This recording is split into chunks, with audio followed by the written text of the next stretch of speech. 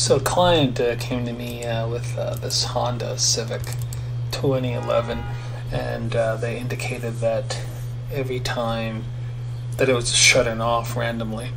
Now, the AAA person that worked with them initially gave them a, a battery change, so they got a new battery, and uh, I think there might be um, a combination of like um, problems. So let's go ahead and explore this, uh, and uh, we'll show you how I diagnose this and uh, resolve this problem. The first thing I did was uh, check and see if uh, there were any check engine codes, and as you can see, there are no check engine codes that uh, are particular to like give me a direction to indicate that the that the stalling that I'm experiencing is something that is going to be embedded within the actual um, uh, DTCs.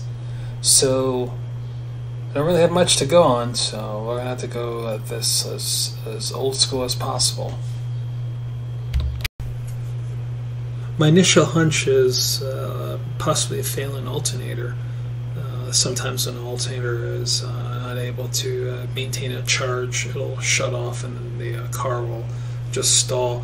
But that really doesn't make much sense because if it does turn back on, then the baseline is no longer uh, consistently going lower. It's actually the same, and there would be something else going on. But either way, the first thing I want to do is just check the battery voltage and see what the status of the battery is. And as you can see, 14.57 is a pretty. Actually, I, I believe this is actually the um, the idle. Yeah, that's. I'm sorry. The, so the 14.57 that you see on the screen is is the idle. Uh, the engine's actually on and the uh, car's idling. So we have good voltage uh, from the alternator, and I have I think maybe like the radio on and the headlights on, so the accessory and the headlight is on. So the battery is alternator is doing what it's supposed to do. So we know we have a good battery and we have a good alternator, so we can move on from there. The audio is not the best, but if you listen closely, you can hear how there's like a scratching sound, and it sounds pretty much like what bearings sound like when they are failing.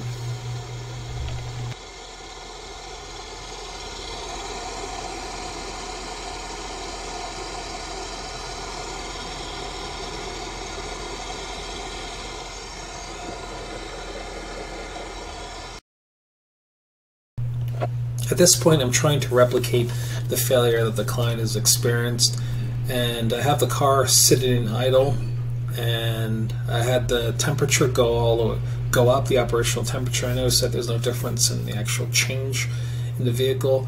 Uh, I noticed that when I turn the steering wheel to the left and to the right, that the RPMs drop in idle. That was an indicator to me that the serpentine belt, when more demand is requested from it from the uh, power steering pump, the belt itself seizes up. That means it's not spinning freely and grabs the, the crankshaft and it shuts the engine off. So that was an indicator that that's the issue right there. Now that lines up with the grinding the grinding sound that I heard earlier because it's grinding because the one of those pulleys have failed. The pulley that failed is actually on the AC compressor, and we'll find out later on, as you can see. But take a look at the video; you can see how a car how it, it shuts off.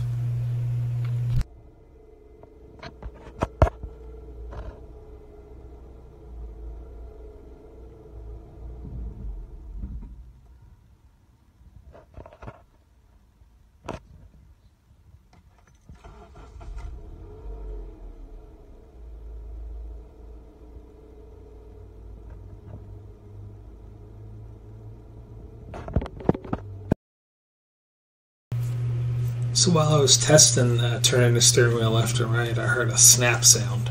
Well, that's what happened. The belt snapped. So if that's not an indicator something's causing the belt to bind up, I don't know what is. There is a lot of play in this pulley that is on the um, AC compressor. But at this moment, I'm not really sure if that's the only pulley that's causing a problem.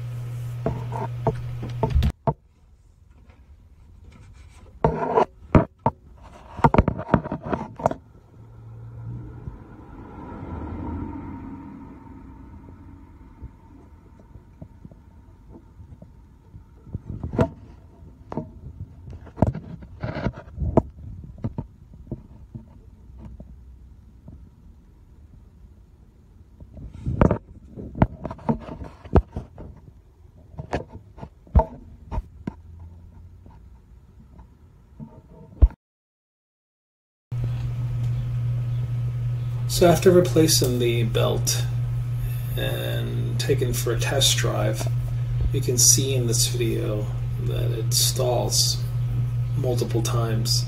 So this really helps me narrow down even more. That's definitely belt related.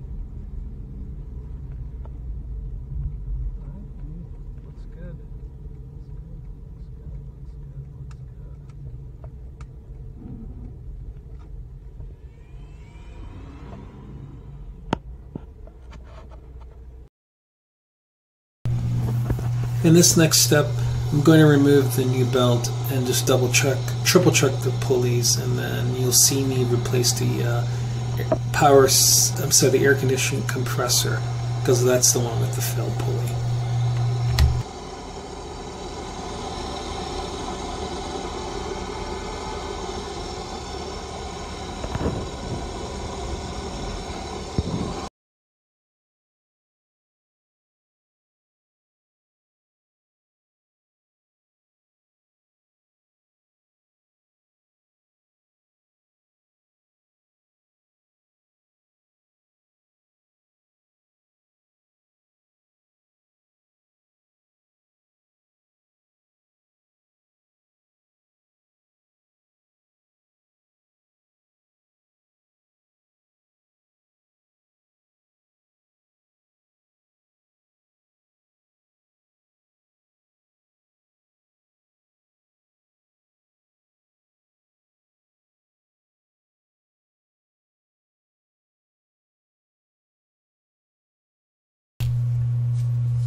This is a close-up of the hydraulic tensioner bolt. You'll see in the next um, photo where I have a long wrench on. You want to push this towards the cabin of the vehicle to remove or release the tension from the belt.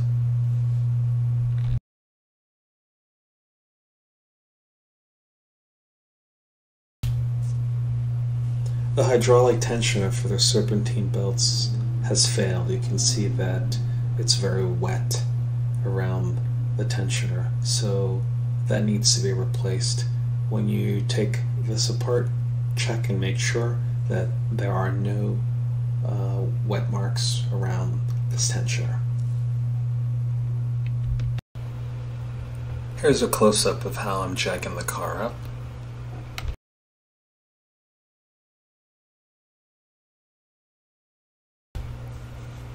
With the wheel removed, it's a lot more access to remove the belt. I chose to remove the belt uh, downwards uh, and it allows me to also install the belt easier so I take the wheel off to help with access.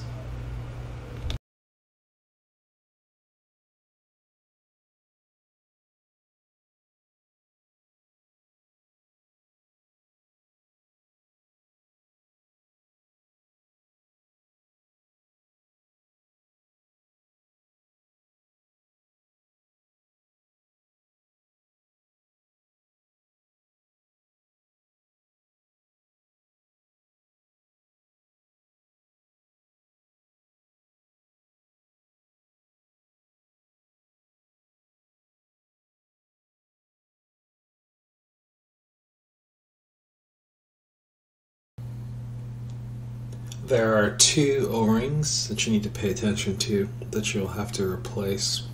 Uh, this is one of them.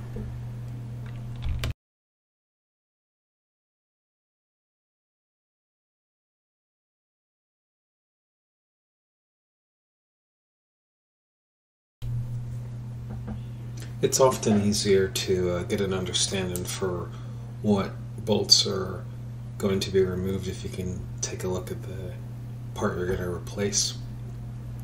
So this is all. These are all four bolts that will be removed. Uh, one is at the bottom. It's a little hard to get to.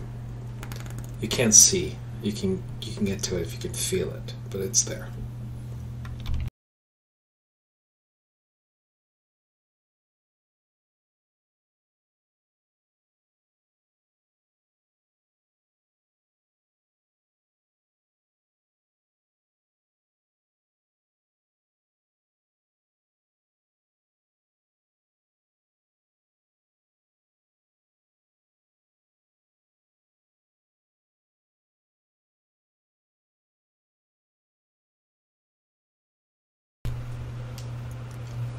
This bolt is the difficult to access bolt.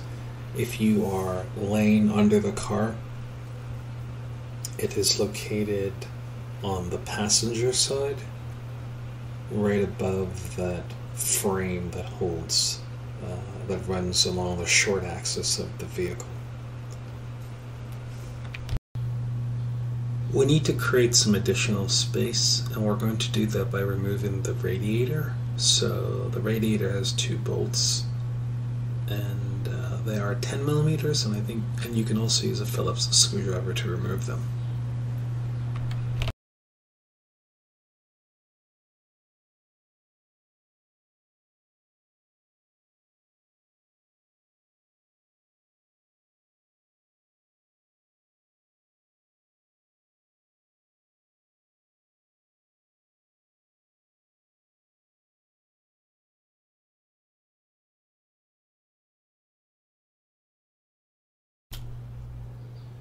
I'm going to compare the two uh,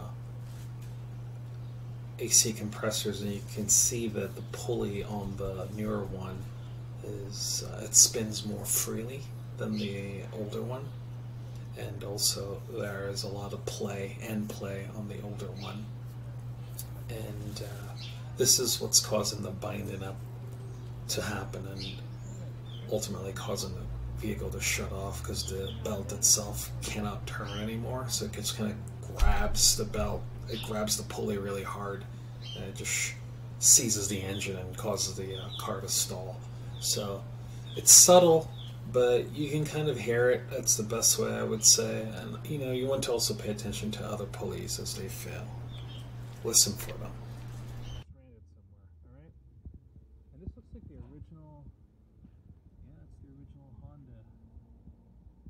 Wow, and it's in 4K. Once you remove the radiator, it's easy to lift the AC compressor right up.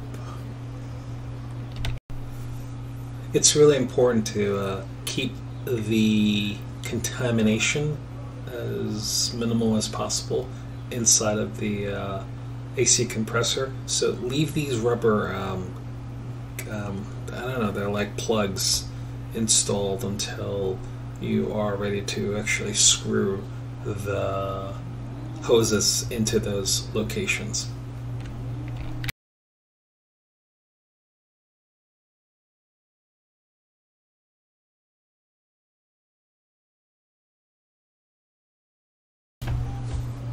I have placed both O-rings side by side. On the left side is the older O-ring.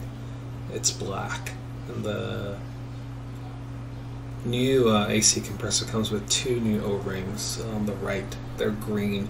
One's a little bit smaller in uh, diameter, so just uh, the outer diameter. So just double check.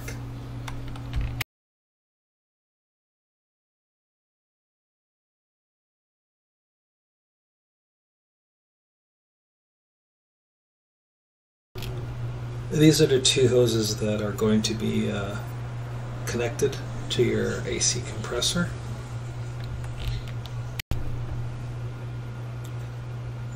The two top bolts for the radiator fan, you can see them here. And then don't forget to connect your uh, your connector. When you attach your new coolant, you want to attach it to this side. This is the low side and uh, when you unscrew this cap you'll see that there's a Schrader valve it's similar to what uh, certain bicycles have and definitely what your tire has. So it's a Schrader valve. What I like to do is to bleed the system. So I will uh, spray a little bit of the um, uh, the AC coolant. So remember when you do this you want to shake it very vigorously for two minutes, and then when you spray it into the high side, you want to turn the bottle upside down. So it's important to do that. Now, once you do that, I just spray a little bit in it, and then I will uh, go over to the high pressure side, unscrew that cap, and then depress the Schrader valve just to release the uh, any air that's trapped in the system itself that's going to help with the, the bleeding process. On the inside of the car, you want to do a couple things. One, you want to um, get the vehicle to uh, operational temperature. And once it's at the operational temperature, uh, that's going to be when the dial on the engine temperature is in the middle. Uh, you want to turn on your AC to its maximum um, flow, airflow, like the velocity and also the temperature at its coolest, and then place place your uh, air conditioner in recycle mode, so that way the air that's inside the vehicle is uh, being recycled. And then you're going to use a thermometer to just check and see if you are actually um, well, it'll be obvious if it's hot outside that the AC is actually functional and it's being charged. If you like this content, uh, don't forget to subscribe. It truly helps with me creating more content for you. And I uh, hope that it was helpful. And don't forget to uh, thumbs up and maybe even thumbs down. But share with your friends, let them know. And I hope that it helped you. I hope you enjoyed the format. It was uh, specifically done to minimize the amount of video footage you have to look at and to give you the best possible shot of the actual fasteners and um, you know just a little bit of tips that I can share along the way. Either way, it was a fun, pleasurable experience for me, and uh, I didn't get the AC to work. I believe that the relay or the fuse might have been blown, so the clutch never got to engage. So, if possible, I'll probably have a follow up video on this. Alright? And I hope to see ya.